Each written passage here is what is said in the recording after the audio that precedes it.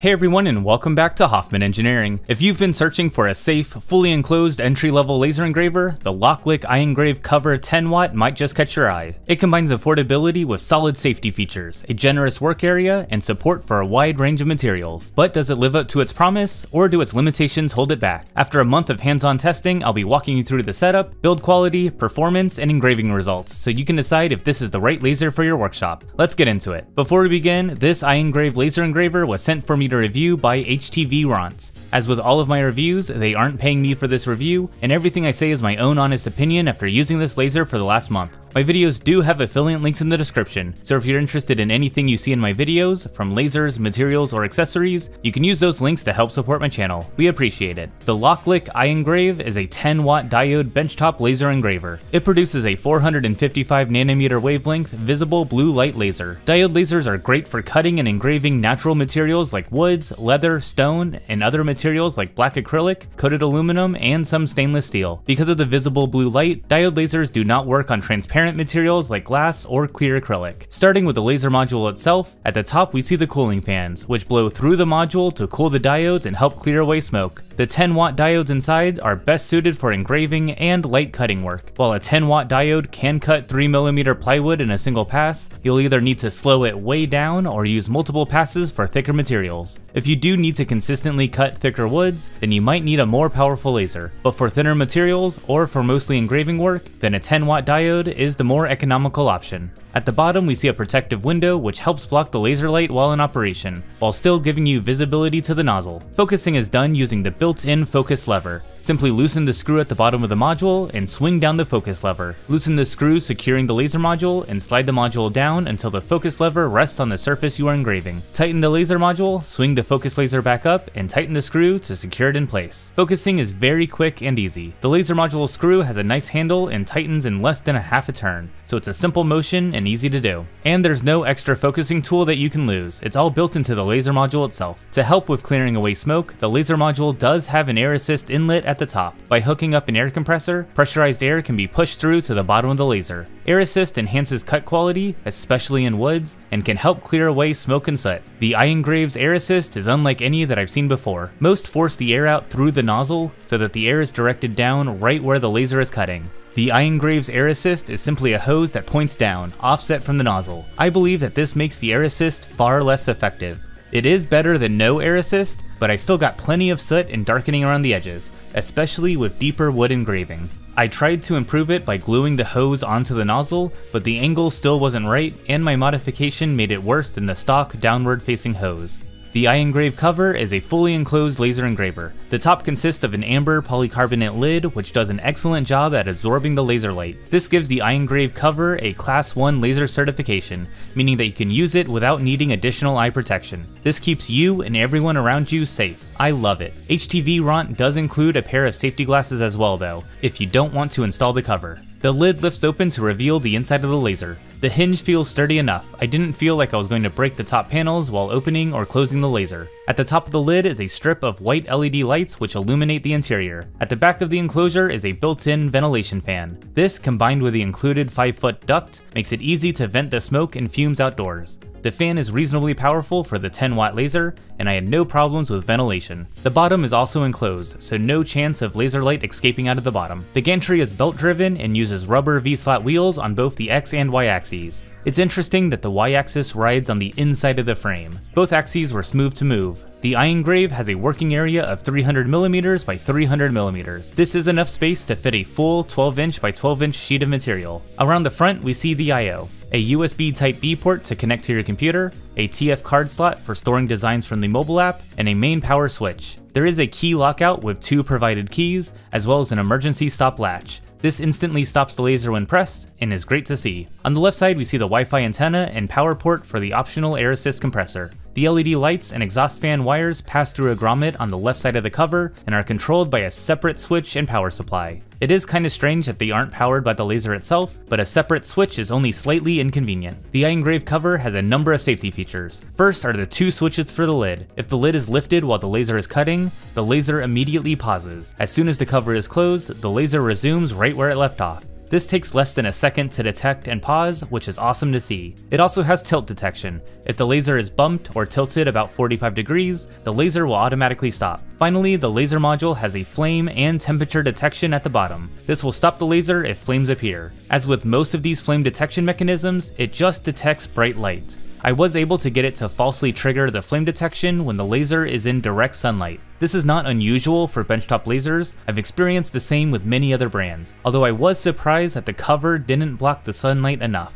The standard iEngrave cover kit does not include a honeycomb panel or an air assist compressor. For my tests, I use my own honeycomb panel and compressor, and I would highly recommend anyone with a laser to pick both of these up. You can purchase the iEngrave all-in-one bundle, which includes a honeycomb panel, air assist compressor, and rotary roller, or you can purchase those accessories down the line as you need them. Assembling the iEngrave cover was pretty straightforward. The laser itself arrives mostly assembled. Unscrew two brackets securing the gantry during shipping, add in some cable management ties, and screw on the four feet.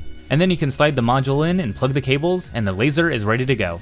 The cover requires a bit more assembly. Each side consists of separate plastic panels with pre-cut holes. They all attach together using a series of brackets and screws. The various grommets, fans, and switches were all pre-assembled though. Once the lid is on, you can press on the LED light strip and push the cables through the grommet. Overall, the assembly took me 40 minutes to complete. The instructions were clear, and all of the panels were nicely labeled. And I love the look of this laser after it is assembled. HTVront provides a Lightburn configuration file for the LOKLiK iEngrave on the included SD card. I love Lightburn, and I highly recommend anyone with a laser pick up a Lightburn license. You just need to import the config file and you are ready to engrave. This isn't a review of Lightburn but the software is packed full of every feature you could need, from designing tools, importing designs, creating test patterns, changing cutting and engraving parameters, and much, much more. And it worked well with the iEngrave cover. The iEngrave has Wi-Fi capabilities and can be used with the LOKLiK app for iOS and Android. Unfortunately, when I tried to connect my Pixel 7 to the laser, it failed to connect, even when switching my Wi-Fi network to only 2.4 GHz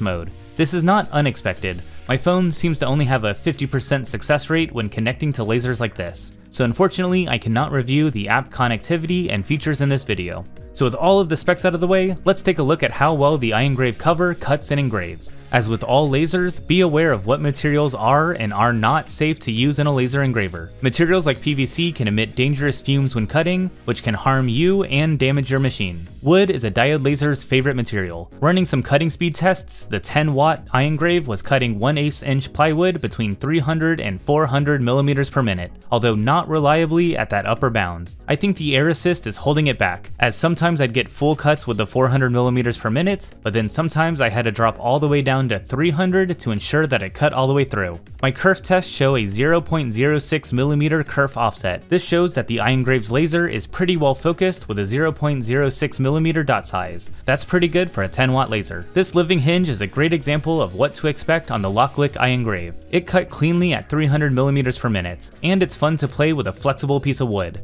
but you may notice the soot marks all around the engraved letters at the top. This is due to the air assist. It was engraved with the M and the T towards the top, and you can see how the soot is angled away from where the air assist hose is positioned. It just doesn't do a great job, and you are left with darkened edges around cuts and engravings. Image engraving did work pretty well on the iEngrave. Playing around with 6,000 and 10,000 millimeters per minute engraving speeds, these pictures of my dog Jacked turned out pretty cleanly. Nice contrast and good looking picture results. I was pleasantly surprised with black acrylics. The iEngrave gave a nice white surface engraving on these 3D print log keychains. My first tests didn't cut all the way through, but slowing it down to two passes at 250mm per minute cut through the 3mm black acrylic. And anyone who has watched my channel knows that I love slate coasters, and the iEngrave worked perfectly on them. It gave a very bright white engraving. I love the high contrast. I was also pleasantly surprised by the leather engraving. I was expecting lots of darkening around the edges, but the iEngrave handled this leather bracelet with no problems. A nice consistent engraving, and no darkening from soot.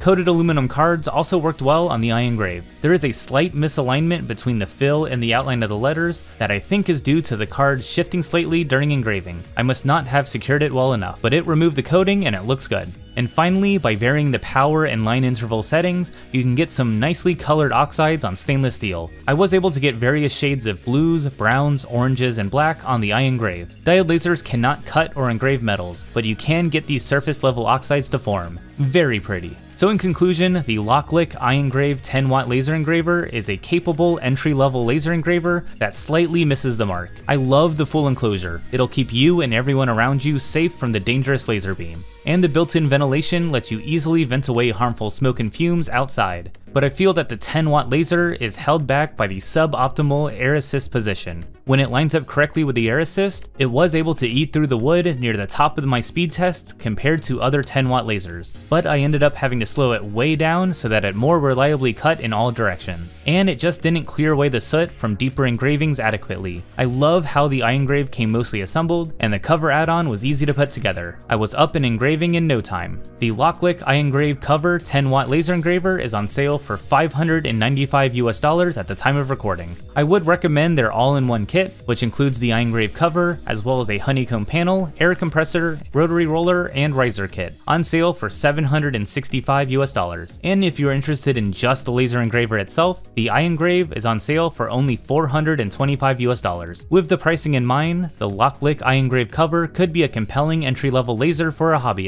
If you don't mind the extra darkening on deeper wood engravings, then the issues with the air assist doesn't make too much of a difference. There are not many other fully enclosed options near that price point, so the iEngrave cover has that advantage. I would recommend a honeycomb panel and an air assist compressor to really make the most of the laser. If you are also looking for a rotary roller, then the all-in-one kit would get you all three for a pretty good deal. Otherwise, if you don't need the roller, then you could save a few bucks by picking up the honeycomb and air assist separately. So thank you all for watching my review of the HTVront LOKLiK iEngrave cover. What was your favorite feature? What features do you think it's missing? Let me know in the comments below. I have plenty of upcoming projects and reviews, so be sure to subscribe so you don't miss out on any of my future videos. So thank you all for watching, and I'll see you all next time.